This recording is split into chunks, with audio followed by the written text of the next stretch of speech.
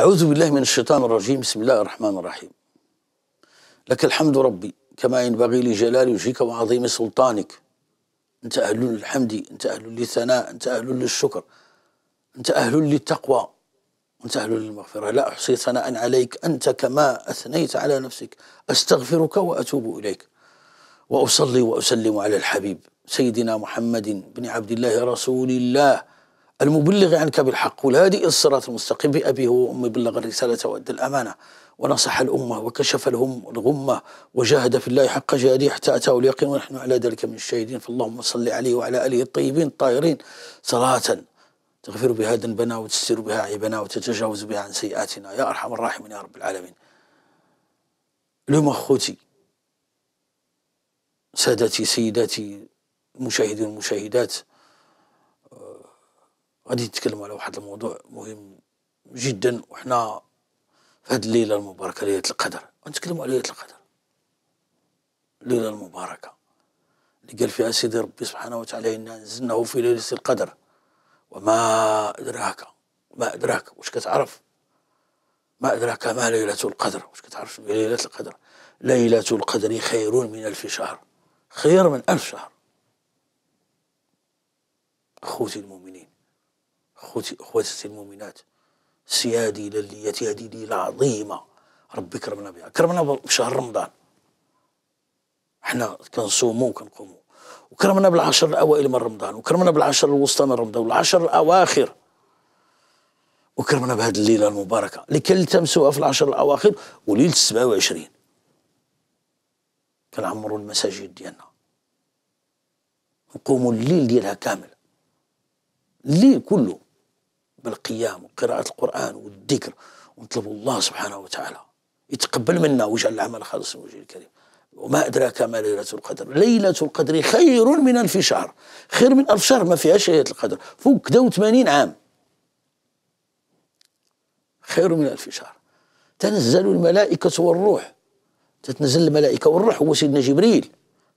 بإذن ربي من كل أمر. تيقولوا العلماء تيقدر فيها الله. داك الشيء اللي غادي يجرى من ديك النهار العام الجاي لسنة كاملة.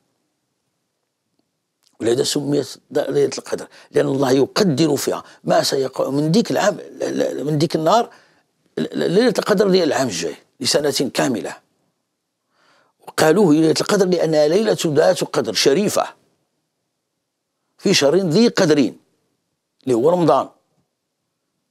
لأمة ذات قدر اللي هي أمة سيدنا محمد صلى الله عليه وسلم لنبي ذي قدر اللي هو سيدنا رسول الله صلى الله عليه وسلم فاجتمع علينا الخير كله في هذه الليلة.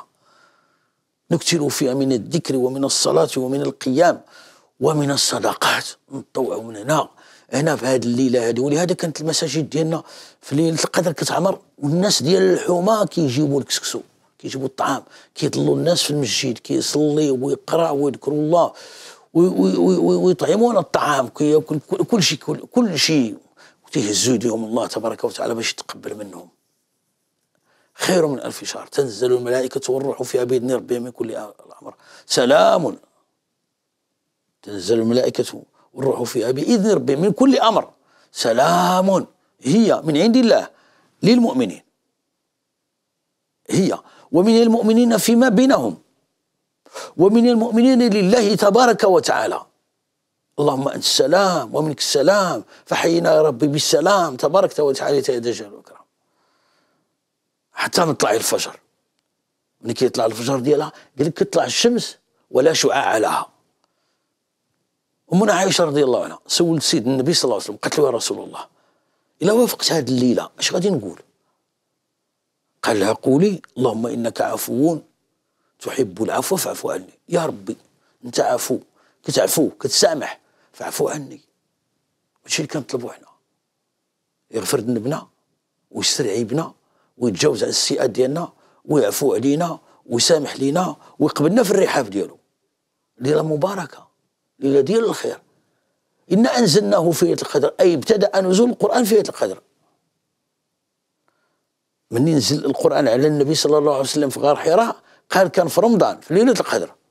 وقيل من تفسيرات قالوا العلماء إن أنزلناه أي القرآن نزل من اللوح المحفوظ إلى بيت العزة في شهر رمضان. شهر رمضان الذي أنزل فيه القرآن هدى للناس وبينات من الهدى والفرقان. وقيل ابتدأ نزوله في ليلة من من من في ليلة القدر يعني في ديك الليلة بدأ القرآن كينزل منجما. والمعنى أن هذه الليلة ليلة ديال القرآن. قيام القيام تراويح. الختم ديال القرآن الكريم نختموا ديك الليلة. وندعيو بعد ما نكملوا الصلاه بعد ما نكملوا الصلاه ندعيو. ونهزوا يدينا بالدعاء ونبكيو على مولانا. وحنا قاعدين الأرض خاشعين متبتلين. ونطلبوا من الله سبحانه وتعالى يتقبل منا ومنكم. اللهم تقبل منا الصيام والقيام. واحشرنا في زمرة خير الأنام. آمين. آمين. الحمد لله رب العالمين. إلى لقاء آخر. والسلام عليكم ورحمة الله تعالى وبركاته.